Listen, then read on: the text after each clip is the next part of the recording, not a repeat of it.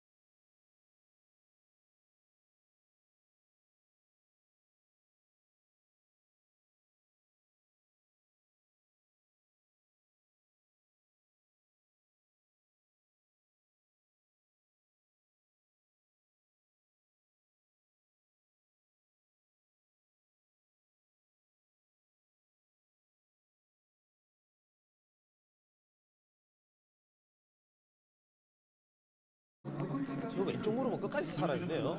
자, 그만큼 이제 다가서지 못하게끔 철저하게 또 방어를 하고 있는데요. 그렇습니다.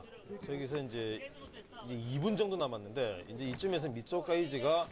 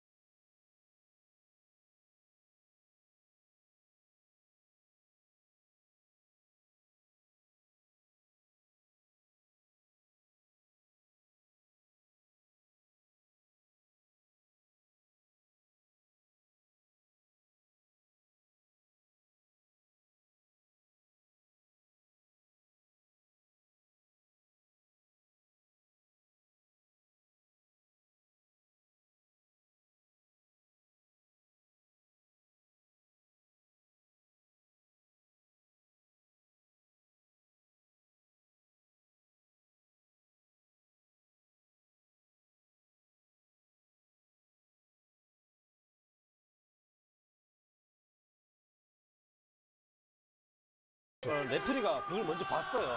자, 미츠오카 이지가 이렇게 승리를 거뒀습니다. 이름으로써 세르게이 고리아프 선수는 타격은 잘하지만은 그라운드에서는 아직까지는 완성되어 있지 않은